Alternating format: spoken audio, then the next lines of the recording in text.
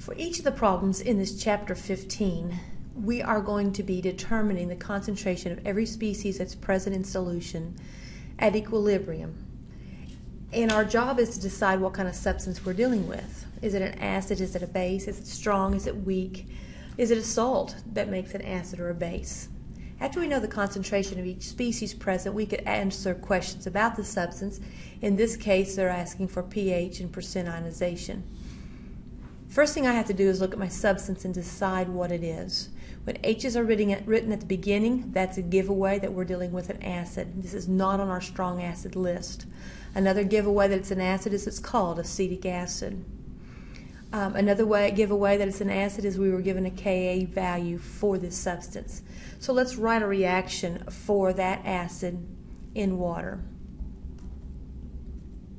When it reacts with water, it donates its proton to the water.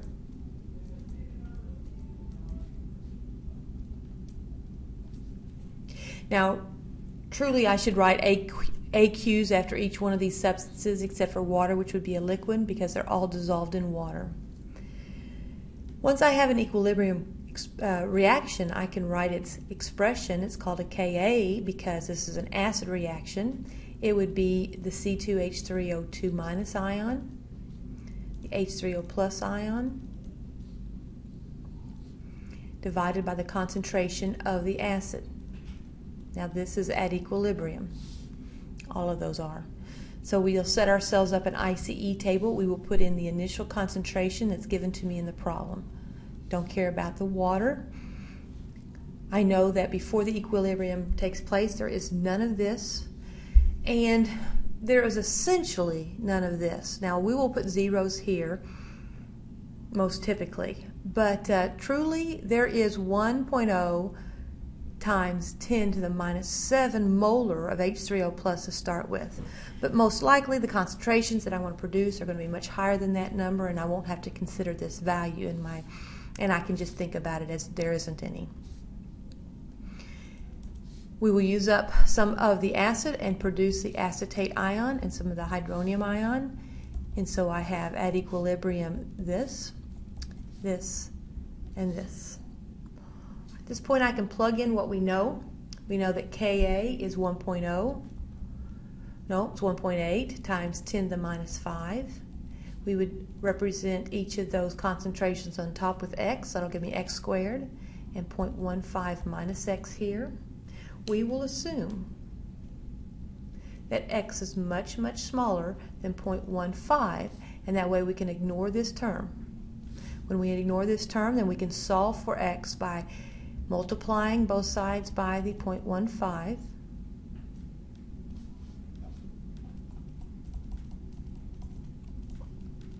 And then we can take the square root of both sides to get rid of the x squared.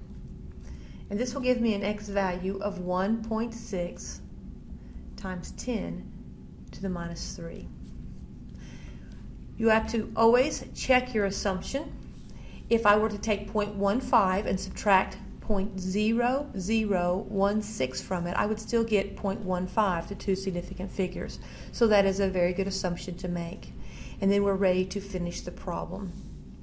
We want to know the concentration of everything in this solution at equilibrium. So the concentration of HC2H3O2 would be 0.15 minus X. Well, I've already established that that didn't change its number any. The concentration of C2H3O2 minus is going to be the X value of 1.6 times 10 to the minus 3. This is also the hydroxide concentration. Are those the only things present in solution? I'm sorry, not the hydroxide concentration. Don't know why I said that. This is the H3O plus concentration. Now, are these the only things present in solution? Um, there's one other thing present. Anytime you have H3O plus, you always have OH minus as well.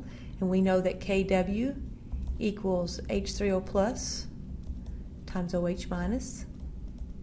So OH minus concentration equals 1.0 times 10 to the minus 14, which is KW, divided by 1.6 times 10 to the minus 3. whatever that value is. Last thing we're going to do is calculate the pH and the percent ionization. We know that pH is equal to the negative log of the H3O plus concentration, which was 1.6 times 10 to the minus 3. This gives me a pH of 2.78. That is an acidic solution. The other thing that we're asked to determine is the percent ionization. Percent ionization will be the ionized form and we can put in the H3O plus concentration divided by the initial acid concentration times 100. And this will give me a percent ionization of 1.6 times 10 to the minus 3 divided by 0.15 times 100 which will give us 1.1%.